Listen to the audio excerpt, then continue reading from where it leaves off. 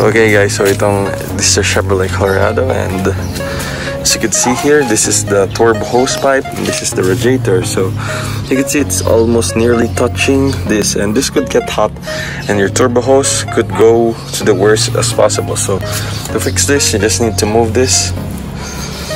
Just, just make a way to move this.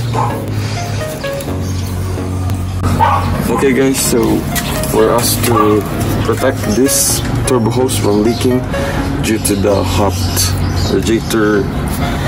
This is so-called just your radiator pipe or tube so just need to pull this down. So pull this down. be careful because this is quite um, this is quite not as durable but it's durable against heat. Protect your turbo hose from getting destroyed by the heat of the radiator.